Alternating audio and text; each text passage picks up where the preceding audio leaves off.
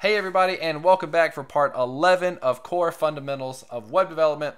In this video, we're going to learn some more about Flexbox so that we can get a responsive design for our application so that it looks good on all different kinds of devices. So let's go ahead and dive in. So first off, I, I, in most of these videos, we've left you guys with a couple of links that you can look at um, one is going to be uh, CSS tricks again. So we've seen this as a resource. Awesome stuff. And the article is Don't Think About It Flexbox Grids.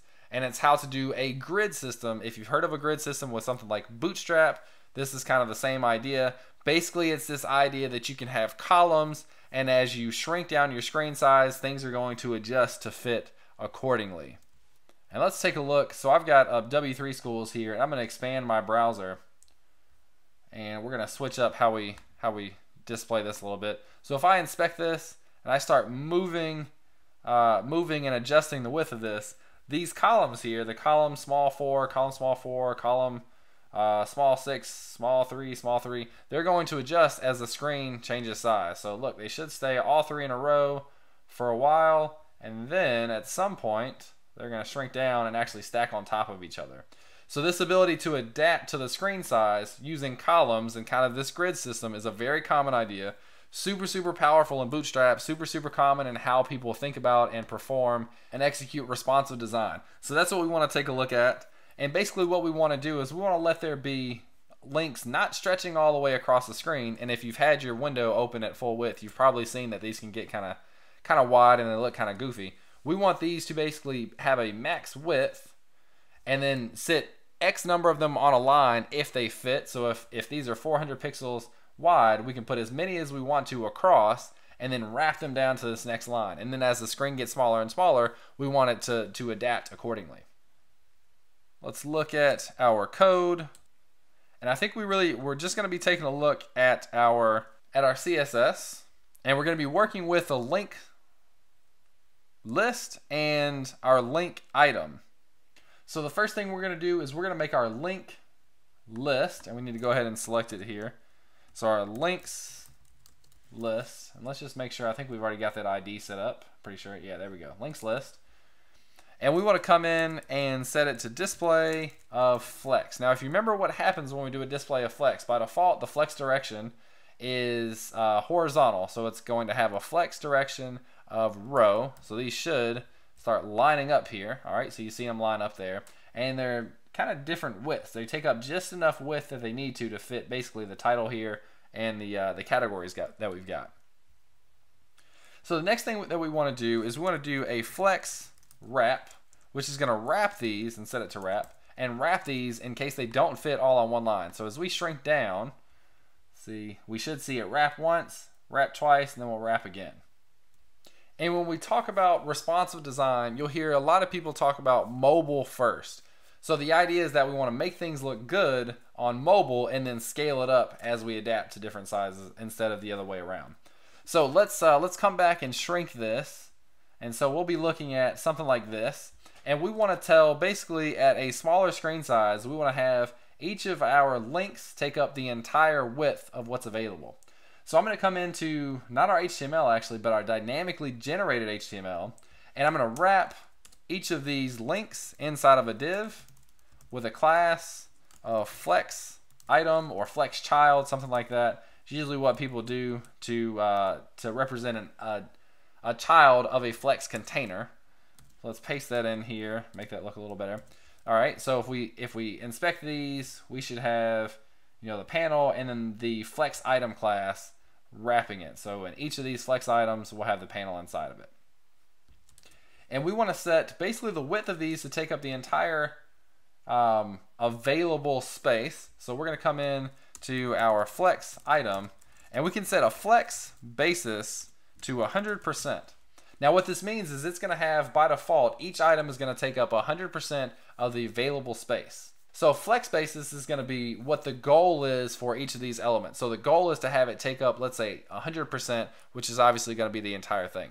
Now, if you try to do, let's say, flex basis and you set it to a number of pixels, so 100 pixels, and there's not 100 pixels available, it'll start out at 100 and then it'll it'll adjust accordingly if you have to adjust. So if it just won't fit at what you want it to, it'll shrink down or it can kind of scale up. But flex basis is just what we want it to be ideally.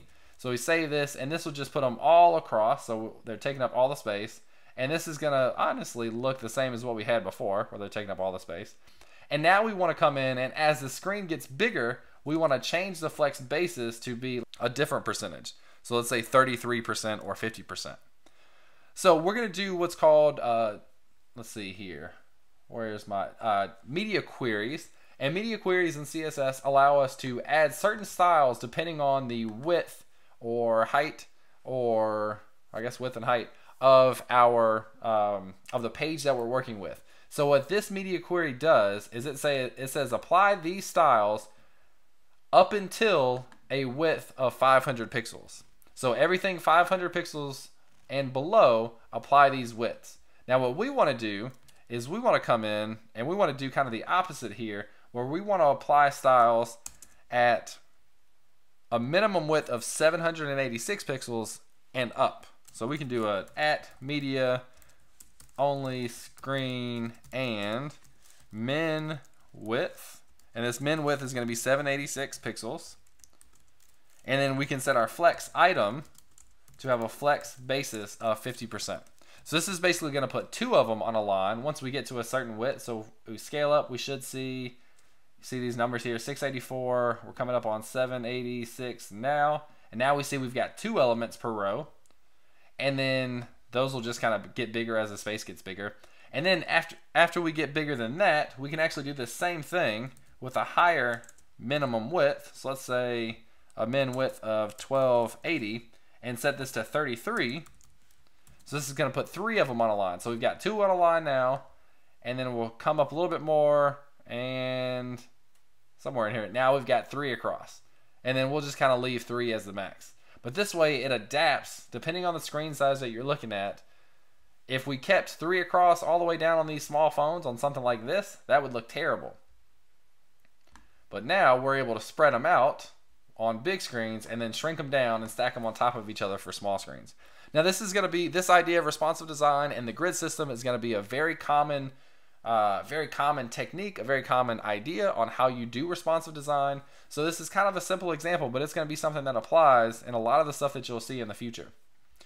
So one additional thing that we can do, we can update our navigation bar. If we look at our navigation bar and shrink this down a whole, whole lot, they're going to kind of overlap there and kind of look a little bit ugly. We can make that look a little bit better by doing some more responsive, uh, by doing some more media queries with our nav bar. So let's come in to our nav bar section, wherever that is. Nav bar, nav bar, nav bar. There we go.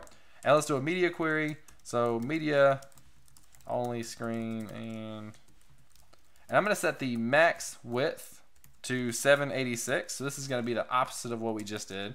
This is going to apply these styles to everything 786 and below. And I want to set the nav height. So we'll select our nav, we'll set the height to be 100 pixels. And then our nav container, nav container. Now we're going to change two different things here. We're going to change flex direction to column. So this is going to stack them on top of each other. So let's just see what that looks like. So notice these are stacked on top of each other. All right, and then we come out and they adapt a little bit. And then we want to say justify content center. Now, if you remember, justify content justifies the content, but on the main axis. And now that we're doing flex direction of column, the main axis is vertical or a column or um, top to bottom. So justifying content on this main axis now will center them vertically. So let's come in and now we should see these are centered. They look pretty good. That's actually just what we want. We just wanted to change just a little bit to show a little bit of um, responsive design to accommodate for smaller screens to make sure things still look good on different screen sizes and different uh, different devices.